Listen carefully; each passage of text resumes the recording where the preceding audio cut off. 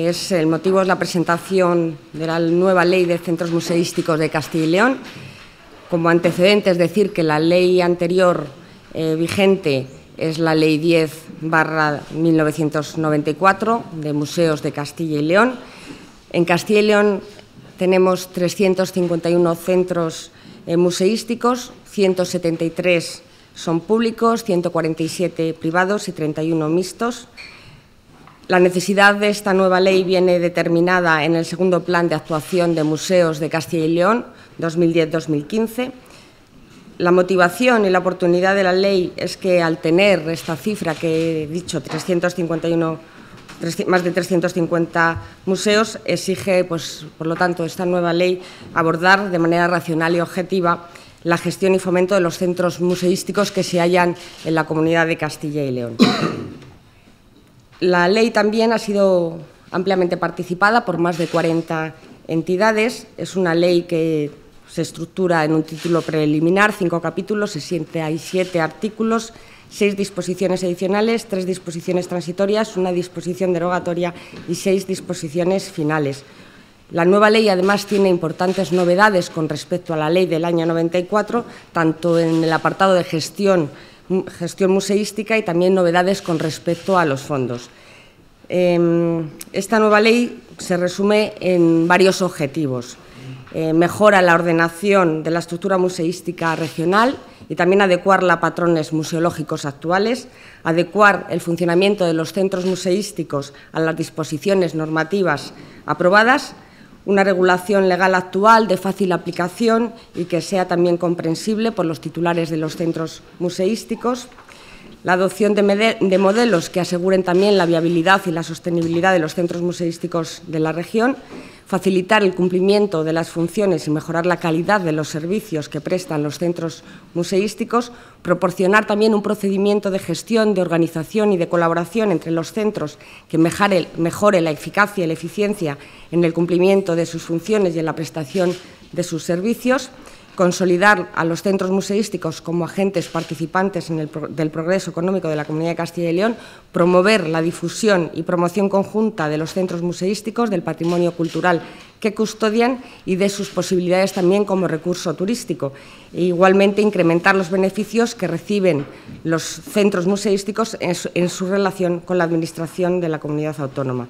En conclusión, es una ley que pretende que los centros museísticos utilicen la planificación y la colaboración como un modelo de trabajo habitual dirigido también a cumplir el objetivo y la misión que les corresponde bajo criterios de sostenibilidad y con el propósito de alcanzar pues, también objetivos de política social y cultural que contribuyan también a impulsar el desarrollo de Castilla y León. Como principales novedades de la ley, yo creo que hay, eh, lo he dicho antes, importantes novedades respecto a la gestión museística y novedades respecto a los fondos. En primer lugar, eh, la ley se denomina Ley de Centros Museísticos de Castilla y León frente a la Ley de Museos de Castilla y León con la finalidad también de englobar nuevas categorías. Se amplía el ámbito de aplicación. La ley anterior solo era aplicable a los centros de competencia de la comunidad autónoma reconocidas y la nueva ley será aplicable a todos los centros museísticos que estén ubicados en la comunidad autónoma y que no sean de gestión estatal. Se crea una nueva categoría de centro museístico Junto a los museos y colecciones museográficas que contemplaba la anterior ley, se crea una nueva categoría, que es la categoría de centros de interpretación del patrimonio cultural. Se establece también nuevas definiciones de los centros museísticos que tienen dos niveles eh, y esta dualidad permite establecer objetivos de política cultural y asegurar objetivos de política social. En definitiva, se establecen las dos definiciones eh, con dos niveles. La primera, qué hacen los museos y la segunda, que es la misión, por qué lo hacen. Eh, con el fin también, eh, sobre todo la parte de la misión de los centros museísticos, pues de acercar a los museos al ciudadano al explicarles por qué existen y lo que pretenden conseguir. Em, se somete también la creación de los centros museísticos a autorización previa eh, con la nueva ley para crear un centro se deberá contar con una, autorización previa, estableciendo la ley una serie de requisitos mínimos Se prevé la posibilidad de que los centros establezcan también acuerdos con otros centros museísticos o con instituciones para suplir, para ampliar, para potenciar sus funciones propias. Se crea el Directorio de Centros Museísticos de Castilla y León, eh, que esta inclusión en este directorio genera deberes y beneficios y también eh, como beneficios como la prioridad eh, de la colaboración en la colaboración con la Junta de Castilla y León se configura como un instrumento para facilitar las tareas de técnica museística, pero también de explotación turística y patrimonial. También en cuanto a las novedades de gestión museística, que en la anterior ley no se regulaba, en esta ley se potencia la planificación y el planeamiento museológico. Los centros museísticos deberán contar con un plan museológico, con un programa de viabilidad, un programa de seguridad, programa de accesibilidad y también un programa anual de actividades y memoria de gestión. Se establecen tres áreas de trabajo, vinculada a la parte científica y de colecciones, al área de difusión y al área de gestión. Se establece también, frente a la anterior ley que no prevé nada, una serie de requisitos y obligaciones mínimas que constituyen el régimen de acceso y visita pública de los centros autorizados, es decir, un horario estable, continuado, periódico y, en definitiva, pues tener también eh, regulada el régimen de acceso y visita pública. Em, también se señala la necesidad de permitir el acceso para la investigación y el estudio de los bienes a las personas que acrediten su interés en la investigación, con la finalidad también de apoyar el cumplimiento de la misión y funciones de los centros museísticos. Novedades respecto a los fondos, se crea la colección museística de Castilla y León, constituida por los bienes culturales cuya titularidad corresponde la Comunidad de Castilla y León y se encuentran asignados a los centros museísticos de la misma y también forma parte de esta colección museística la colección de arte contemporáneo de Castilla y León. Se regula asimismo la gestión documental de todos los centros museísticos y la nueva ley regula la seguridad, la conservación, los movimientos, las reproducciones de fondos en todos los museos y de manera específica de los museos dependientes de, de la Junta de Castilla y León. Se crea también la red de centros museísticos de Castilla y León, distinguiéndose con el actual sistema de museos de Castilla y León, que articulaba el sistema eh, de museos de Castilla y León, una dependencia, articulaba una dependencia jerárquica entre sus componentes. En este caso, la red de centros museísticos lo que permite es una conexión mucho más igualitaria, más horizontal, respetando la autonomía y también la corresponsabilidad, siendo también equitativo el intercambio, yo creo que, de beneficios. Formarán parte de la red de centros museísticos de Castilla y León, el Consejo de Museos de Castilla y León, los centros museísticos dependientes de la comunidad, los órganos, recursos y los servicios administrativos y técnicos de la comunidad autónoma encargados de, de la gestión y funciones en materia de centros museísticos, incluyéndose el Centro de Conservación y Restauración de Bienes Culturales de Castilla y León, los órganos, recursos y los servicios administrativos y técnicos de otra titularidad encargados de la gestión y funciones en materia de centros museísticos, cuya integración se acuerde con arreglo del procedimiento que se establece, el sistema Tapuerca, Cultura de la Evolución, la colección de arte contemporáneo de Castilla y León y los centros museísticos autorizados de titularidad pública y privada. Se establece también la existencia de centros museísticos de cabecera, tanto territoriales como temáticas, con funciones eh, de coordinación y asistencia técnica al resto de museos de la red. Se crea también un premio eh, sobre la actividad museística de Castilla y León, teniendo en consideración la trayectoria profesional, los logros, los proyectos o aportaciones en esta materia. Y eh, se crea un comité de adquisiciones en el seno de la Junta de Valoración y Adquisiciones de Bienes Culturales.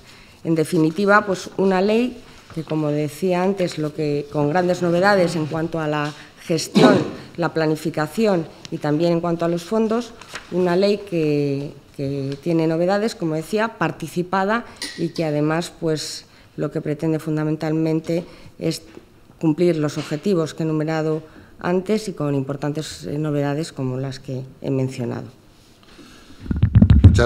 Muchas gracias, consejera. Seguimos y seguimos dentro de la Consejería de Cultura y Turismo.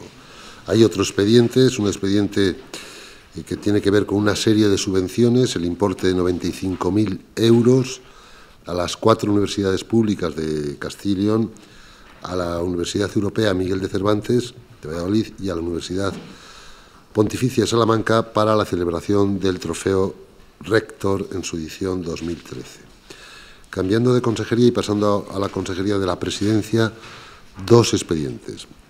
El primero, eh, informarles que en la mañana de hoy hemos adoptado el acuerdo de informar desfavorablemente la solicitud de segregación que hicieron los eh, municipios del condado de Treviño.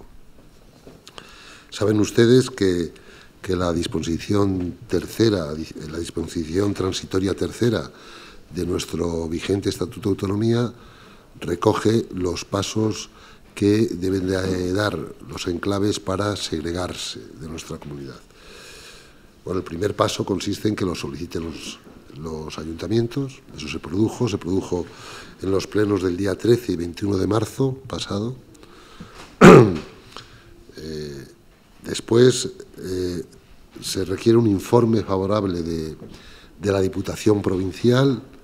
Eso hemos conocido en estos días que el informe de la Diputación ha sido desfavorable. Yo creo que fue la semana pasada. No sé si todavía o no lo han llevado al Pleno. El siguiente paso es un informe de la comunidad autónoma y ese es el que hemos aprobado hoy. ¿no? Un informe favorable, ¿no? El informe ha sido desfavorable, ¿no? Y el informe se tiene que, basar en eh, vínculos históricos, económicos, sociales y culturales. Eh, Saben ustedes que en el año 98 hubo un intento similar. Eh, también el informe, lógicamente, fue desfavorable, pero han pasado cosas importantes, además, desde el año 98. Tiene una nota muy extensa, pero yo se lo voy a resumir. ¿no? ¿Qué cosas han pasado? Pues mire, hemos modificado el Estatuto de Autonomía y el Estatuto de Autonomía recoge en su artículo segundo, establece lo siguiente. El territorio de la comunidad de Castilla y León comprende el de los municipios integrados en las actuales provincias de Ávila, Burgos, León, es decir, eh, la segregación requeriría una reforma del Estatuto de Autonomía. Porque eso en el anterior estatuto no se recogía así. El territorio comprende los municipios integrados en las actuales provincias, en el momento de aprobarse el estatuto, y Treviño está integrado en la provincia de Burgos. Es una cosa importante. Otra cosa importante, eh, decirles que, bueno, el, el Ayuntamiento de Treviño presentó una memoria apoyando la petición de segregación, el de la Puebla no. Es una memoria eh, realizada en 2003 por, la Universidad del País Vasco. Y eh, comentarles, por ejemplo, que otra de las cosas que han pasado, porque eh, los dos alcaldes, que saben ustedes que yo estuve reunido con ellos hace apenas siete días o diez días, no recuerdo bien, lo basaban todo en, la prestación de servicios, ¿no? Y claro, mm, le recordaba yo, y, se lo recuerda el informe, que em, la ponencia del Senado, que estudió el tema, el asunto de los enclaves, piense que enclaves hay, hay más de 30 o 40 en España, hubo una ponencia hace años en el Senado, concluyó diciendo que lo que tenían que hacer las comunidades autónomas era llegar a acuerdos de colaboración y de cooperación para prestar servicios adecuados. Esa fue la principal conclusión de la ponencia sobre enclaves que hubo en el Parlamento Nacional. Claro, eh, yo le recordaba, y se lo recordamos en, el informe, que nosotros eh, hace apenas año y medio hemos llegado a un acuerdo, que no lo teníamos en el año 98, con él, el gobierno vasco, para eh, mejorar la prestación de servicios esenciales en Treviño y en los territorios limítrofes. Y no solo eso, sino que eso mismo no lo hacemos de forma excepcional con Treviño, lo hacemos con los territorios limítrofes, lo hemos hecho con todos los territorios limítrofes de Castilla y León. En la pasada legislatura, y están todos vigentes, llegamos a acuerdos con eh, todas las comunidades autónomas que eh, abrazan, que que son limítrofes con, con Castilla y León. Y eso es bueno recordarlo. En cuanto a, los aspectos mm, eh, históricos, yo sé que, hay que hacerlo, hay que basarlo en historia, en aspectos, así lo recoge el Estatuto, históricos, sociales, culturales y económicos. En cuanto a los aspectos históricos, aparte de que se conoce que desde el siglo XI, en, 1900, en 1200, eh, eh, forma parte del condado de la Corona de Castilla y León, no hay que ir tan lejos, hay que quedarse en la delimitación provincial de 1833 de Javier de Burgos, que desde ese momento el condado pertenece a la provincia de Burgos. Eh, en cuanto a los aspectos sociales, les he comentado eh, los acuerdos de colaboración que hemos mantenido con, todas las comunidades autónomas, incluida el País Vasco. En los aspectos culturales, el, informe es muy amplio y tiene un anexo donde eh, se recogen pues, todas estas cuestiones de forma detallada. ¿no?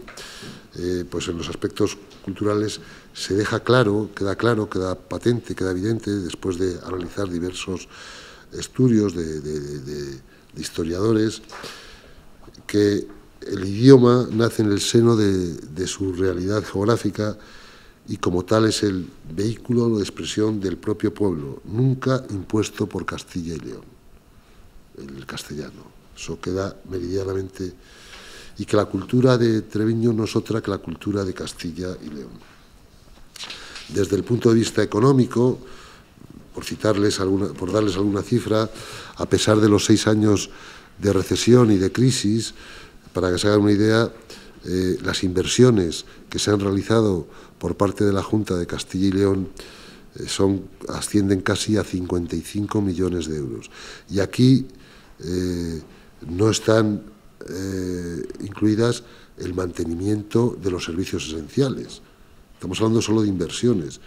Les recuerdo que el centro de salud, el mantenimiento, eh, las nóminas de, los médicos, de las enfermeras, corren a cargo, como no puede ser de otra manera, de la, de la Junta de Castilla y León, porque son del SACIL. Lo mismo pasa con servicios sociales y con, y con educación. Esto supone, o esto equivale, estas inversiones, a 27.501 euros de gasto por cada habitante en el enclave. Además, se recuerda en el informe que en más de tres ocasiones todos los grupos parlamentarios de las Cortes de Castilla y León, todos, hemos mostrado nuestro apoyo a que Treviño siga perteneciendo, como pertenece a Castilla y León, es territorio de Castilla y León, y nuestro rechazo, todos los grupos parlamentarios, a iniciativas eh, en torno a la segregación del enclave del condado de Treviño. Esto se ha venido produciendo eh, en los últimos años, por ejemplo, cuando se debatió en las Cortes eh, el Plan Ibarreche, el Estatuto Político de Euskadi y en varias ocasiones más, y solo lo recordamos en el informe. Con lo cual, a la vista de todas estas consideraciones, pues eh, informamos desfavorablemente las solicitudes de segregación que hacen los municipios del condado de Treviño, el municipio de Treviño y el municipio de La Puebla. Era algo que ya se sabía porque se conocía, pero hoy hemos adoptado el acuerdo. el segundo expediente de la Consejería de la Presidencia son tres decretos que hemos aprobado en la mañana de hoy, se lo hemos resumido en, una nota de prensa, en, único, en en una única nota. Son tres decretos que tienen que ver con el juego privado en nuestra comunidad autónoma. Como saben, es, es una competencia estatutaria exclusiva, el juego, eh, excepto la lotería y las apuestas del Estado. Así lo recoge el artículo 70 de nuestro Estatuto de Autonomía. Y los objetivos que pretendemos con, estas modificaciones o estos decretos que hemos aprobado es, en primer lugar, modernizar el proceso eh, de, puesta en marcha de, estas empresas de juego, que, que está enmarcado en el proceso de modernizar la administración, es decir, simplificar los procedimientos y los trámites administrativos para la puesta en marcha de, estas empresas que dedican al juego. Los decretos suponen una importante reducción de cargas administrativas para las empresas dedicadas al sector del juego. Afectan al juego del bingo y al juego de casinos, ¿no? Dos al juego de casinos, uno, dos decretos y uno al juego de bingo, ¿no? recoge el decreto las novedades que han incorporado a estos juegos otras comunidades autónomas para que nuestras empresas sean competitivas, las empresas que están en Castilla y León. Les recuerdo que el juego contribuye al mantenimiento en Castilla y León de más de 3.000 em-, empleos y que supone una recaudación para la Junta de más de 65 millones de euros.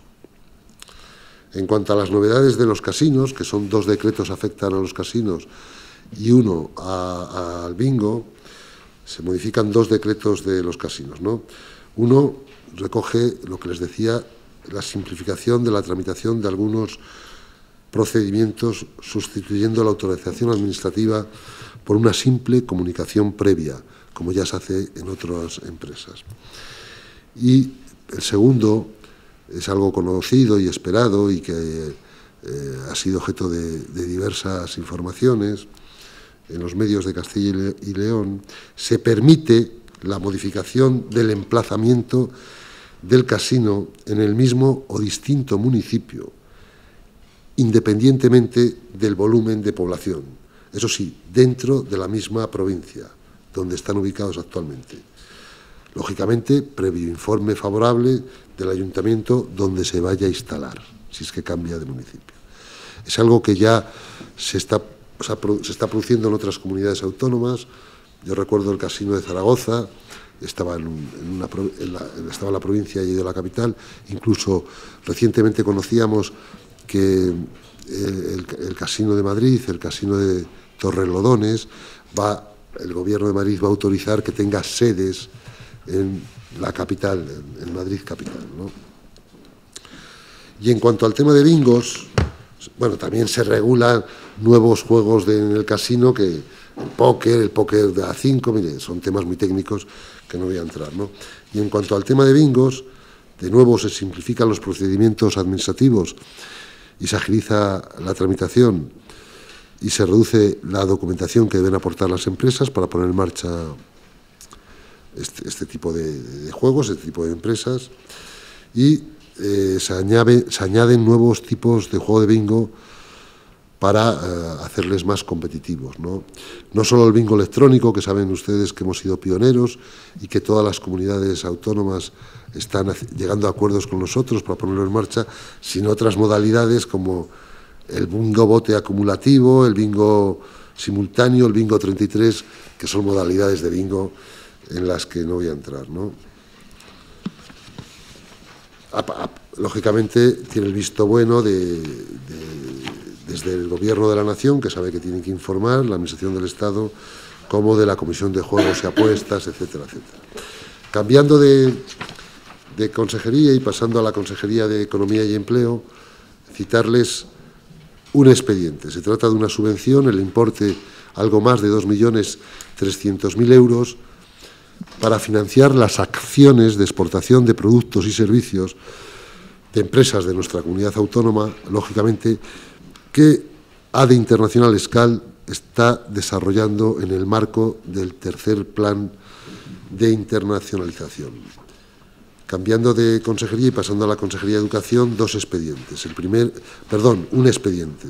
Se trata de una subvención a la Universidad de Burgos por un importe que supera el millón cien mil euros para el programa de infraestructuras de investigación y desarrollo tecnológico 2013-2015. Hace unos días venía a otra universidad, ya saben que este programa beneficia a las cuatro universidades públicas. En sanidad, muy rápidamente, dos expedientes.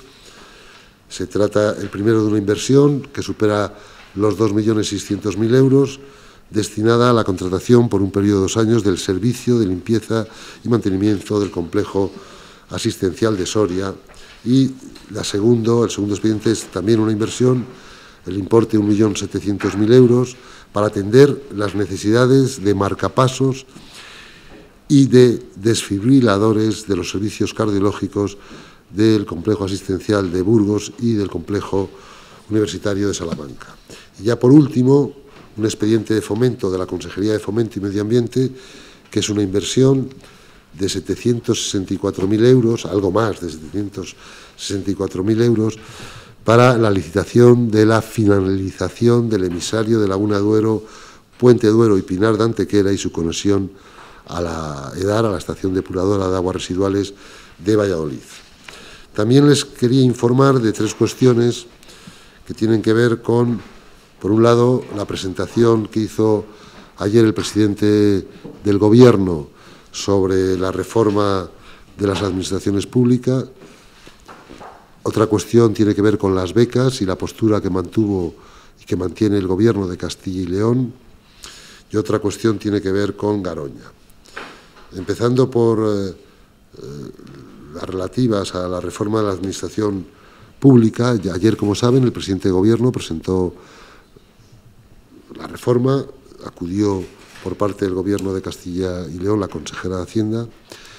La reforma consta de 217 medidas, de las cuales 120 son recomendaciones a las comunidades autónomas.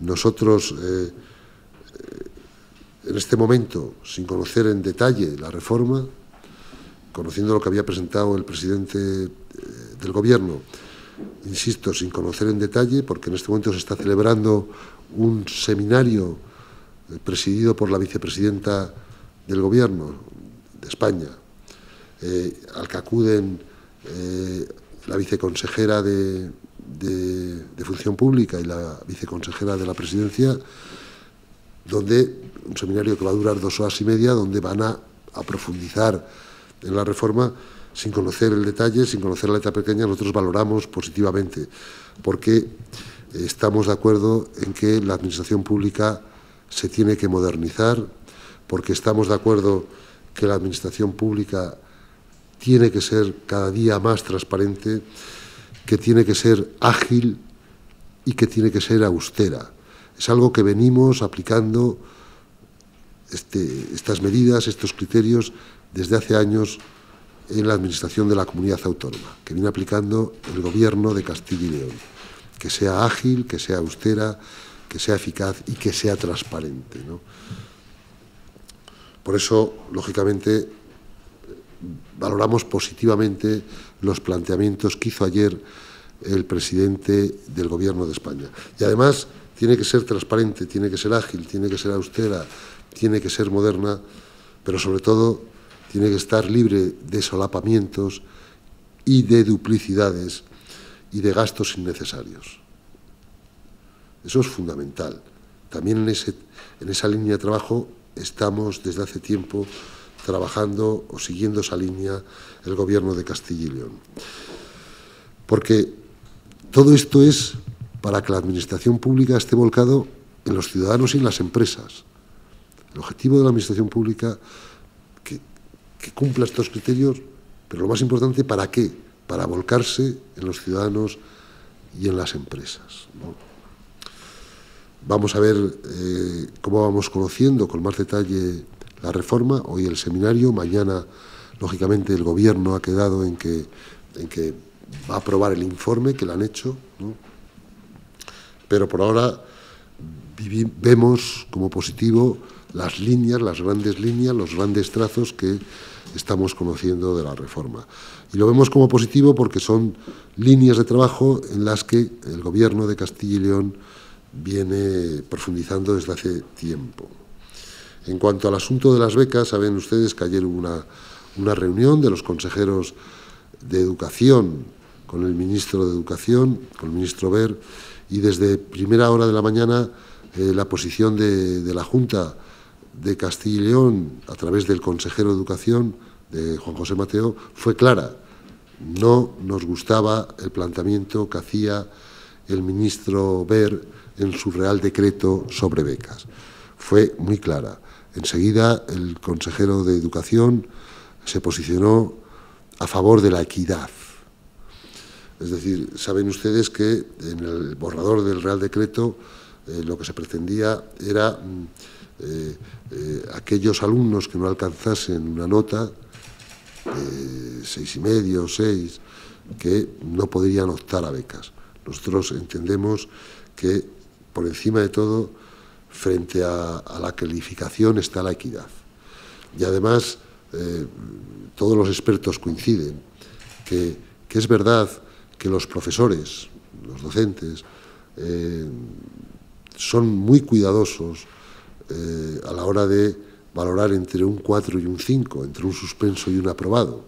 Y también es verdad que son muy cuidadosos a la hora de valorar a partir, pero hay estudios sobre esto, hay estudios hechos a partir del 7, de notable a sobresaliente o a matrícula. Pero todos coinciden que en la bolsa que hay entre el 5 y el 6 y medio, que mm, eh, es mucho menos específica. Entonces, nosotros defendemos, y así lo trasladó Mateos, perdón, el consejero Juan José Mateos, que por encima de todo Eh, y más en estos momentos, antes que eh, de, primar la calificación, se tiene que primar la equidad. Y afortunadamente el ministro tomó nota y ha quedado en que revisará el proyecto de Real Decreto. Y por último, la otra cuestión que les quería comentar tampoco es nueva, tiene que ver con Garoña. Eh, ya sabemos todos que quedan 17 días es decir, que la situación se está complicando o está complicada, bueno, nunca ha, estado nunca ha dejado de estar complicada y que el tiempo se agota. Por eso hacemos un llamamiento a la responsabilidad de todos. Es decir, nosotros siempre hemos dicho que somos optimistas por naturaleza, que mientras haya vida y esperanza, y nosotros estamos convencidos de que, que todos los pasos que se han dado hasta ahora, no hay ninguno que sea irreversible, que aunque quedan 17 días, no hay ningún paso que sea irreversible. Por eso hacemos un llamamiento a la responsabilidad de todos, a la empresa y al Ministerio, a todos. Eh, yo creo que hay que mantener el optimismo que siempre hemos mantenido, por eso que les digo que no hay ningún paso irreversible y queremos dejar claro que, que a nosotros, al gobierno de Castilla y León, eh, no nos mueve para nada la cuenta de resultados de la empresa, no nos mueve para nada una defensa a ultranza de la energía nuclear, nos mueve que siempre que esa central como cualquier central de energía nuclear, sea segura, y todavía nadie ha dicho que no sea segura, nos mueve por encima de todo los mil trabajos que dependen de Garoña. Eso lo comentaba el otro día y se lo vuelvo a comentar hoy. Una vez que se sabe que es segura, por encima de todo, y no se trata de una defensa ultranza de la energía nuclear, no se trata de ese debate ideológico, ni mucho menos de la cuenta de resultados de la empresa. Estamos hablando de mil em, empleos que son los que eh, están en juego. Por eso seguimos sin entender cómo cada vez que hay un vaivén en este asunto, algunos lo celebran. Yo nunca celebraría que se perdiesen mil empleos, ni ahora ni nunca. Yo no entiendo cómo algunos grupos políticos pueden celebrar cada vez que hay un vaivén en torno al eh, cierre de Garoña. Vamos a esperar y vamos a ser de nuevo prudentes y optimistas.